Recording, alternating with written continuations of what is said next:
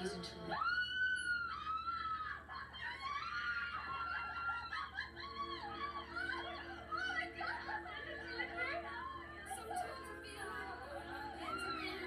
that day, I got to thinking about relationships.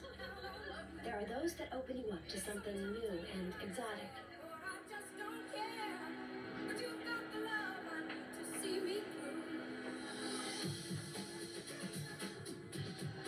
Those that are old and familiar. Those that bring up lots of questions. Those that bring you somewhere unexpected.